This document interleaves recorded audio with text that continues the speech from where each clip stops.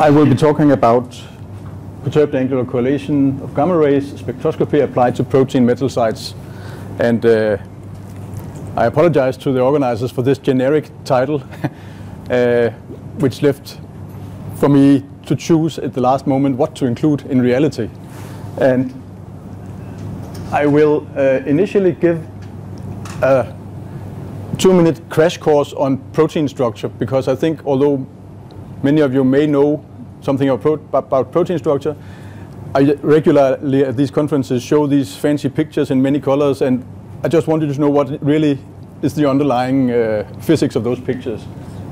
Then I will give you two examples of what we have done over the last couple of years. One is we have explored nanosecond dynamics at a protein metal site, and the other is uh, in a completely different protein. We have tried to look at the local structure of a metal site in that protein and in order to understand the function of the protein.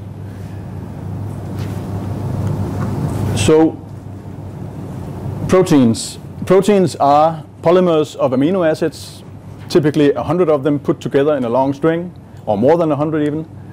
Uh, and the amino acid composition dictate dictates how the proteins fold up into a three-dimensional structure. This is the normal paradigm in protein uh, structure uh, biochemistry. Uh, and what does the structure look like? Well, if you go a little bit back in time, you will see here John Kendrew, who managed to grow crystals of proteins and put them in an X-ray beam and get X-ray an X-ray diffraction pattern and from that, interpret the structure of the first protein, uh, myoglobin. And you can see here he's working really hard, putting, there are a lot of sticks here, and on those sticks he put atoms in order to build the three-dimensional structure that would correspond to the diffraction pattern here. So a few years later that earned him the Nobel Prize. And since then, of course, many protein structures have been determined and they are deposited in the so-called protein data bank. There are more than 100,000 structures there now of a large variety of proteins. And fortunately, today we can visualize the structures a little easier.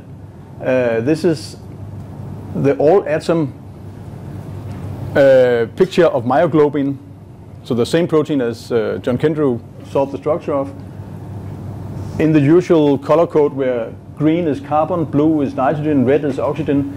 Uh, hydrogens are not shown for clarity, although this picture is not very useful to look at. So this is why typically you make a simpler uh, version of it where you follow, you trace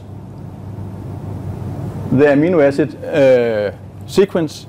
And it turns out in proteins that you can roughly describe them as composed of three types of secondary structure, and one of them are these alpha helical rods that, that go off in different directions, and, and the way they are put together dictates the three-dimensional structure.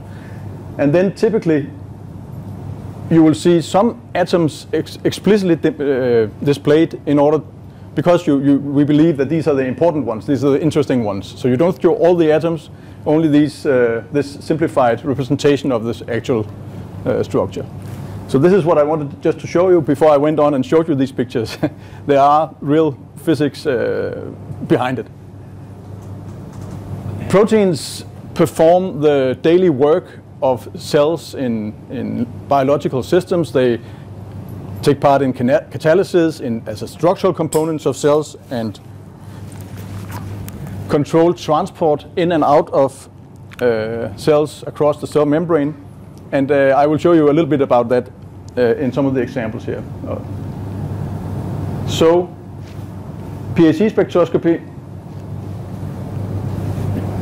maybe I don't need to have this slide for this audience really. You know there's an angular correlation between the two gamma rays in this gamma-gamma cascade. For chemists, that is entirely uninteresting, of course, in itself, although for nuclear physics it is interesting.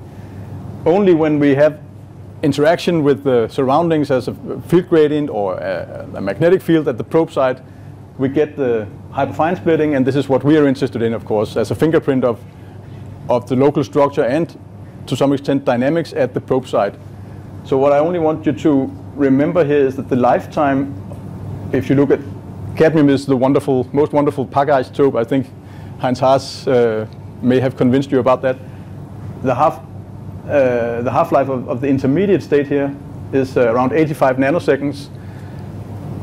And this means, of course, if the hyperfine interactions change on that time scale, it will affect the spectra.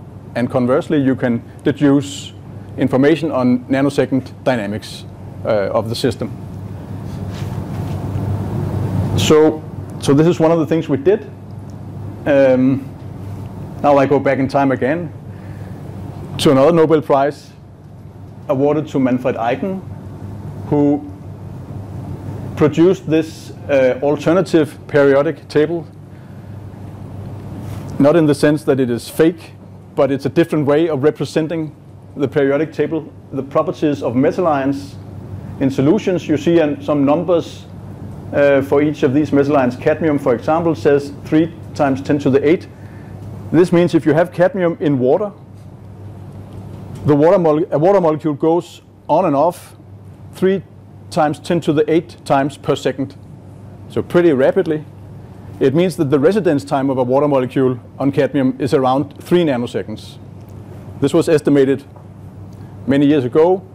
It was actually never measured directly. It was measured indirectly, looking at reaction kinetics of cadmium ions with, with molecules that change absorption uh, properties when they bind to the cadmium ion.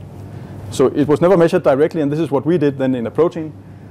Um, but what's important here is to notice that all the biologically relevant metal ions exhibit exchange rates in the micro to nanosecond timescale. So from a PAC spectroscopist's point of view, this is wonderful. It means that we, in principle, can measure this, at least for the isotopes we have available. And here's an example. This is not a naturally occurring protein. It's a synthetic protein. And what is nice about that is you can build it in any way you want. You can put together the amino acid sequence uh, and build these proteins synthetically. And in the middle of this protein, uh, Vince Pecoraro from the University of Michigan, who designed these proteins, designed a metal ion binding site with three sulfurs. And then you can stick in all kinds of metals there. You can change the amino acid sequence and see how that affects the metal binding site and its properties. So this is a Lego-like playground if you want to explore properties of metal sites in proteins. And we measured, um, we did PAC spectroscopy on these proteins, added cadmium too. And if you look at the lower spectrum here, this is minus 20 degrees, you will see uh, there are two NQIs present. One is given by the, the green dotted line here, and the other by the red uh, line. So they coexist in this protein. There are two structures that coexist, and I will not give you all the details. We, but we have, you can look into the earlier of these references. We have, I think, quite unambiguously uh, determined these two structures to be either a trigonal planar structure, which was the intention, so to speak, and the other one is uh, a water molecule sitting there, so you make a tetrahedral structure. And these have, of course, different electric field gradients at the cadmium site. Um, so this is what you, you see here. Now, Vince's group also performed cadmium-113 NMR. And at one degree Celsius, you only see one resonance. So initially, well, maybe I should ask you, why is that? Why do you only see one resonance with NMR and two signals with PAC spectroscopy? Okay, it can be a rhetorical question if you wish. it means it's just because NMR is not sensitive to dynamics on the nanosecond timescale, so you see the rapid exchange, the weighted average of the two species, and we, we were able to, or Vince was able to redesign these proteins to get the pure forms and this is represented by this green dotted line here and the red dotted line. And you can see the NMR signal here is in between those. And even that the relative amplitudes of the green and the red in the PSC spectrum agrees with this position a little closer to the green than to the red. So we're pretty happy with all the interpretation.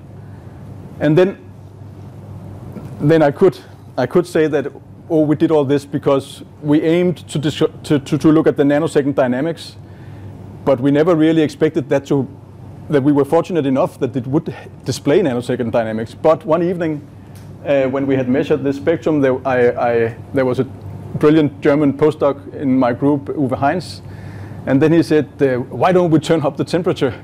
And I thought, yes, of course, why didn't I think of that? So we did that, and what you see here, if you increase the temperature, you move into the intermediate exchange regime with a lot of line broadening, and at the higher temperatures, you begin to move into rapid exchange also on the PAC time scale of these two species. Uh, and from that you can derive the, the lifetimes of these two species in equilibrium with each other, and these are on the nanosecond time scale. So this was just, uh, from a PAC spectroscopy point of view, a satisfying uh, uh, experience that we were able to characterize the dynamics. Now, from a more biochemical perspective, uh, yes, we, we did one more thing, and that was to change one amino acid roughly 10 angstroms away from the metal side to see how would that perturb the structure and the dynamics at the metal side. And this is, you see the data here. At minus 20, the spectra are quite similar. And most interesting initially was that the frequencies you observe here are almost to within the experimental accuracy the same. So the structure doesn't change by this amino acid substitution. But the ratio changes. You can see that here, that the red one here has a little more intensity than it has here. So the equilibrium between the two species changes. Um, and you can even see that in the NMR data. You shift, here you shift towards the red one. You do that too in the NMR. Um, and this in itself tells you that the lifetimes of the two species must also change because they dictate the equilibrium between the two species.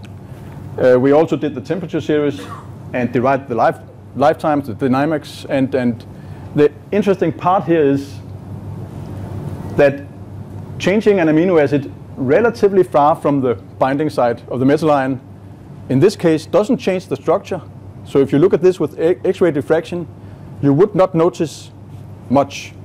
Maybe a little more uh, occupancy of the water sitting here. But it changes the dynamics at the metal side. And this is uh, uh, a property that is uh, uh, a somewhat hot topic in biochemistry. You want to understand how dynamics of proteins affect their function and how that is controlled by the amino acid sequence of the entire protein and here you could see that even changes relatively far away can change the dynamics at, at a metal site in a protein. So this was the first example. The other one, this is completely different. Um, it was known already quite a while ago that, that copper ions and silver ions uh, can be used to sterilize water and you can apply them to wounds. It will kill the bacteria. And nowadays you can also buy a pajamas with copper in it. I don't know how they do that, uh, which is supposed to kill bacteria on your skin. And I'm not even sure that's a good idea. You know, we live in symbiosis with some of these bacteria. But anyway, this is possible, and it's, it's a well-known known, uh, thing.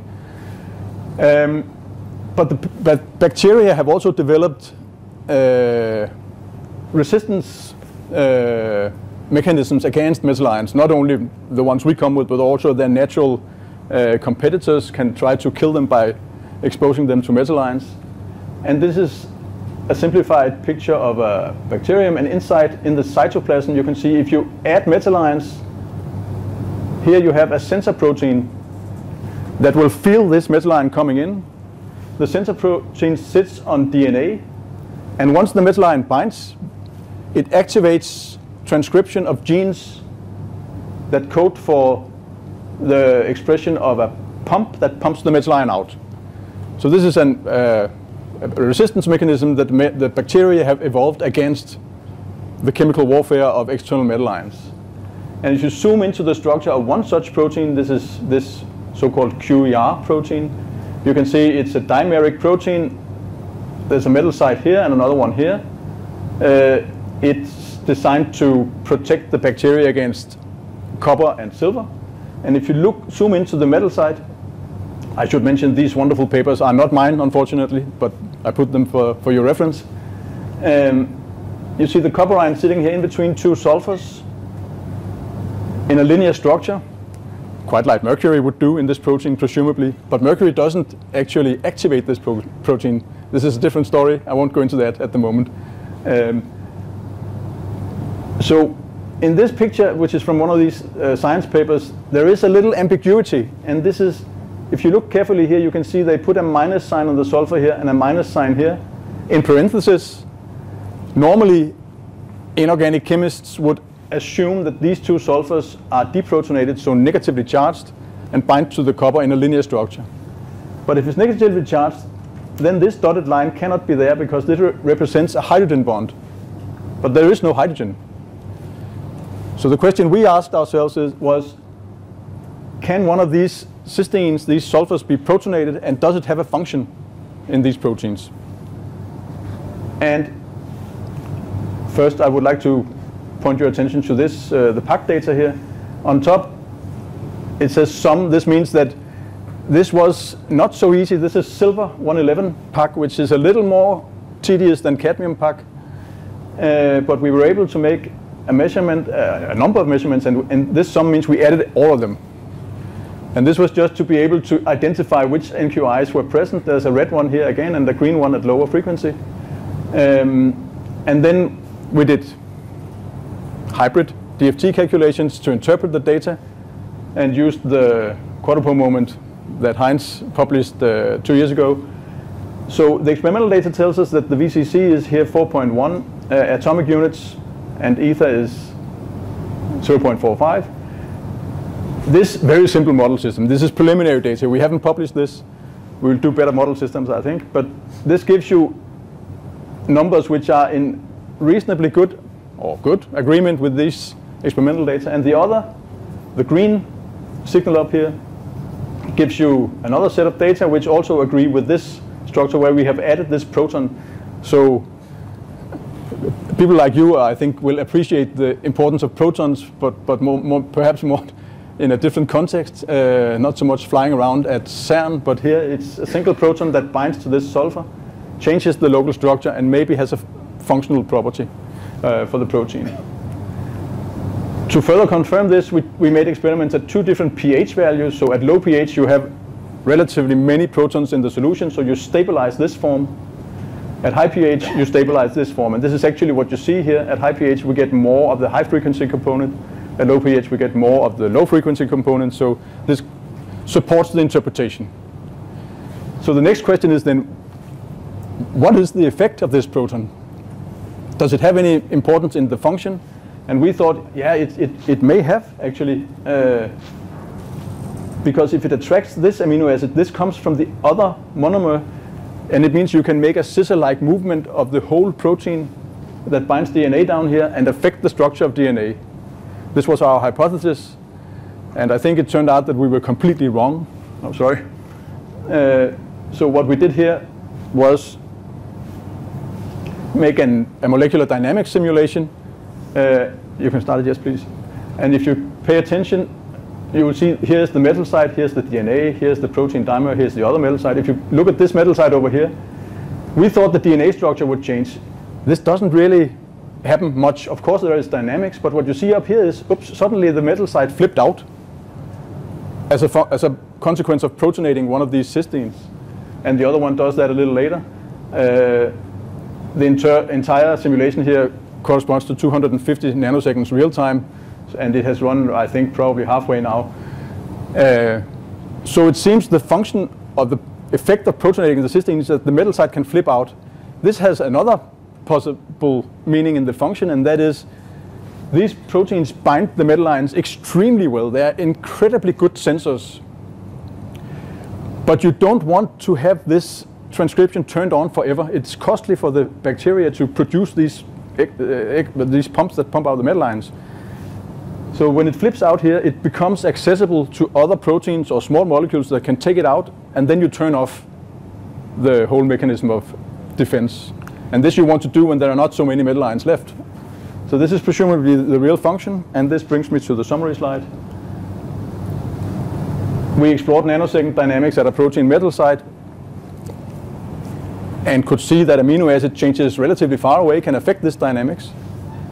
And we have um, also explored the metal binding side of this CueR protein and maybe there is a function of protonating the cysteine at this metal site which relates to the turning off of this protein uh, regulatory mechanism. So thank you for your attention.